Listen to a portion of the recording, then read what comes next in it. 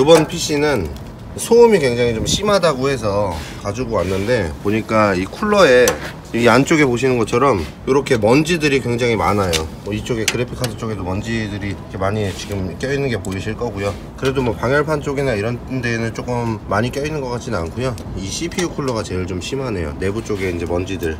뭐 방송할 때 쓰던 PC여가지고 아무래도 이제 사용 시간이나 이런 것들이 많다 보니까 이렇게 되지 않았나? 이 파워 쪽에도 먼지가 굉장히 많이 붙어 있는 게 보이시죠? 쿨링이나 이런 발열 제어나 이런 부분에도 사실 문제가 되는 게 맞고요. 이 쿨링이나 이런 부분 뿐만 아니라 이 내부 쪽에서 온도를 제대로 잡아주지 못하면 PC의 성능이 제대로 발휘가 안 되는 경우들이 있어요. 뭐 throttling이라고 하죠. 이런 것들이 걸려 가지고 성능이 제대로 발휘가 안 되는 경우들이 있어요. 청소를 한번 하고 어떤 부분에서 소음이 나는지 확인을 한 다음에 다음 작업을 진행할 겁니다 자, 어느 정도 에어가 채워졌는데 쿨러도 이거는 뭐 소음이 여기서 발생을 하든 안 하든 아마 교체를 해, 해줄 거예요. 이 쿨링팬 제가 지난번에 말씀드렸듯이 에어 청소할 때 쿨링팬을 꼭 잡고서 이렇게 청소하라고 말씀드렸잖아요.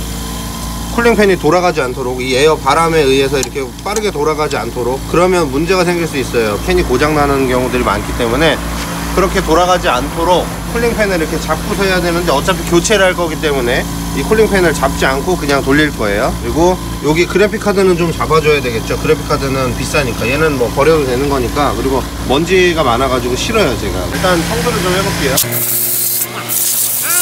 요게 지금 보시면 원래 같으면 먼지가 굉장히 빠르게 제거가 돼야 돼요. 먼지가 생각처럼 빠르게 제거가 안 되죠. 이, 이 에어가 굉장히 세거든요. 지금 보이실지 모르겠지만 제가 이렇게 이렇게 보여, 보여드릴게요 보이, 보이세요? 보이세요? 보이시죠? 엄청 세요 근데 이게 지금 바람이 에어가 이렇게 센데도 이 먼지들이 잘 안 떨어져 나가잖아요 이게 왜 그러냐면 이 PC가 요리 방송을 하는 친구 PC예요. 그러다 보니까 뭐 기름이나 이런 것들이 많이 날릴 거 아니에요.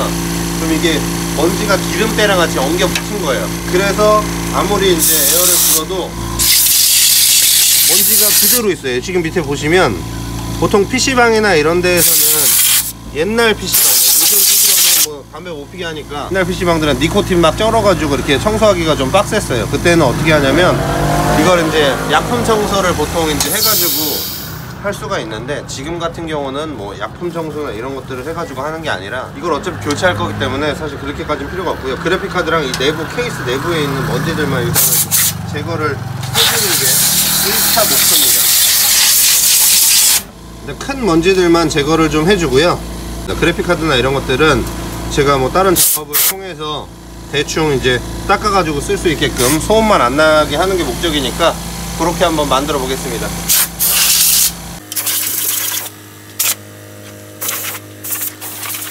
쿨러를 교체를 하고 일단 소음의 원인을 찾아낸 다음에 그래픽카드 펜이나 이런 것들을 추가적으로 청소를 한번 해보도록 하겠습니다. 내 생각에는 고주펌이라는 것 자체가 어찌됐건 간에 고객이 불편함을 겪으면 그건 불량이라고 생각을 해요. 근데 어, 떤 제조사는 고주펌이 뭐, 뭐 이런 소리만 나도 바꿔주는 데가 있고 어떤 제조사는 이렇게 어, 좀 작게 이런 소리가 나는데 분명히 거슬려 근데 가가지고 주면 이거는 우리 그 교환이나 이런 거에 해당이 안 된다. 어. 그러니까 AS 규정이나 이런 거에서 이거 해당이 안 되는 거기 때문에 저희가 뭐 어떻게 해드릴 수가 없습니다. 이렇게 얘기해버리고 많은 경우들이 있어요. 그게 그럼 뭐 특정 부품 때문이 아니면 아예 조립 과정에서 뻑이 난 거예요? 조립 과정에서 뻑이 나왔다기보다는 그런 식으로 보통 이제 고사양 그래픽 카드들을 제조할 때 그런 경우들이 좀 많이 나오더라고. 음. 요게 뭐 코일 떨림음도 고주파가 나올 수 있고 뭐 여러 가지 그 고주파가 나올 수 있는 원인들은 많은데 안에 들어가는 부품들이나 이런 것들도 많고 얘네들을 성능을 올리려다 보니까 아무래도 저사양 제품들보다는 고사양의 뭐 기술도 많이 들어가겠지만 무리하게 또 성능을 up 시키려고 하는 그런 부분들도 있을 거 아냐 그러니까 그런 부분들이 전체적으로 다 해당이 되는 거지 얘가. 뭐 어느 부분만 가- 교체해서 되는 게 아니고 그냥 아예 통으로 바꿔야 되는 거 보통은 이제 그래픽 카드가 고주파가 나오잖아. 그럼 무조건 그냥 제조사로 보내가지고 제조사 쪽에서 이제 교체를 받는다든지 뭐 그런 식으로 해야지 뭐. 그게 아니면 사실 뭐 해결할 수 있는 방법 자체가 거의 없어. 잘 바꿔주는 브랜드가 잘 바꿔주는 데는 EM텍이라는 회사가 잘 바꿔주는데 그게 있어. 불특정 가수들한테 예를 들어서 컴퓨터를 쓰고 있는 사람들이 예를 들어 100명이 있어. 뭐 어느 회사 쓰는 사람 뭐 50명 있을 거고 어느 회사 쓰는 사람 뭐 5명도 안 되는 경우들이 있을 거 아니야. 근데 이 대체적으로 일반인들 기준에서 EM텍이라는 회사가 제일 사실 잘해줘. 제일 잘해주고 뭐 에스티컴이라는 데도 괜찮게 해주고 뭐 이런 몇몇 제조사들이 있어. 제품들은 잘 만들어 놓고 AS를 제대로 잘 안 해줘가지고 욕먹는 제조사들도 있고. 근데 그냥 내 경험에서는 사람들이 막 욕하는 제조사가 있어. 뭐 대부분 이 회사 제품은 아 이 회사는 별로예요. 이 회사는 AS가 옛날에 얘기 나왔었잖아요. 이렇게 얘기를 하는데 나는 사실 그 회사 제품 AS 보내가지고 아무 문제 없이 다 AS 받았고 뭐 내가 뭐 딱히 뭐 이런저런 얘기를 안 해도 AS를 다 잘 해줬고 그리고 정말 최악이라고 막 사람들이 뭐 추천 안 하고 막 이런 제조사도 있거든. 근데 그런 회사도 클럭 다운되잖아. 어, 4천으로까지 떨어지잖아 4천까지 아까 계속 100% 갈궜을 때 네. 계속 온도가 4, 4,400 정도까지 clock이 올라갔었잖아 네.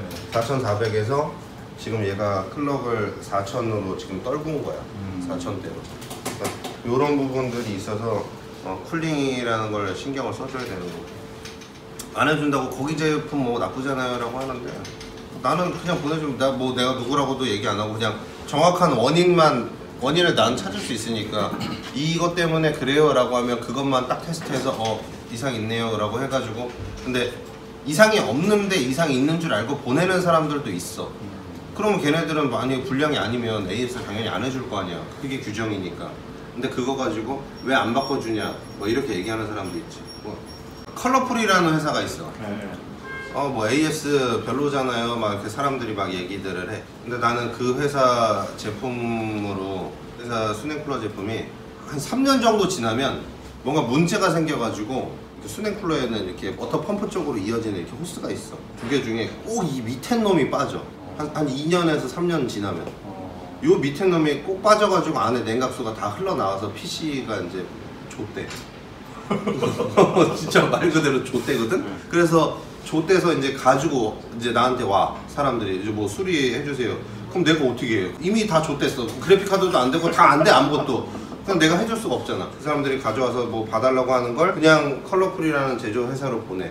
제조 회사로 보내서 요거는 이렇게 이렇게 돼서 왔다라고 사진 딱다다다 찍어가지고 이렇게 해주면 그 보험사에 걔네들이 그 돼 있어 PC 안에 이 수냉 쿨러로 인해서. 어, 손상된 그러니까 뭐 예를 들어서 수냉 쿨러가 여기서 터졌어. 하드나 SSD 이런 거 손상이 안돼. 케이스도 손상이 안돼. 원래대로라면 이걸로 인해서 손상된 부품들은 보상을 다 해줍니다. 이거잖아. 네. 원래 규정은 그거야. 근데 손상 안 된 부품들이 있어. 그럼 얘네들은 내가 쓰고 싶으면 쓰고 뭐 아니면 보상 받고 싶다 그러면 보상을 받으면 돼. 저희가 이렇게 이렇게 돼서 손해 사정인이 연락이 오면 이렇게 됐다. 근데 이거 난 안에 있는 거 다 바꾸고 싶다. 똑같은 걸로 바꾸고 싶다 라고 얘기하면 똑같은 걸로 바꿔줄 수 있을 땐 바꿔주고 똑같은 걸로 만약에 못 바꾸잖아. 그러면. 요거를 어, 감가상각 해가지고 중고 지금 시세나 이런 부분들 생각을 해서 그거에 맞춰서 그냥 보상을 해줘. 그러면 거의 나는 내가 생각할 때는 100%다 보상을 해준 거라고 생각을 해. 근데 그게 야, 이 회사는 AS 쓰레기인데 쓰레기인 애들이 이제 AS 해주는 거야 라고 하는데 바꿔보면 안 그렇거든. 근데 이게 뭐 여기는 그렇네 뭐 저기는 그렇네 막 이런 것들이 있어. 그래서 좋다 안 좋다 뭐 남들 얘기 사실 들을 필요도 없고 나는 그냥 내 경험 내가 경험하지 않으면 난말안 하거든 얘는 일단 이 온도 이상 안 찍으려고 요, 요렇게 해서 clock을 낮추는 거니까 한, 한 5%에서 한 10% 정도 빠진다라고 보면 될 것 같고. 어, 일단 프라임을 돌렸는데 요거 빡센 거를 안 돌렸음에도 최고 온도가 94도를 찍었네요. 요거는 쿨러를 교체를 일단 하고 소음 이게 여기 담기는지 모르겠는데 조금 크기는 큰 편입니다. 일단 쿨러는 교체를 하고 이제 그래픽 카드를 어, 확인해 보도록 하겠습니다. 아까 전에 그 심했던 소음이 지금 없잖아.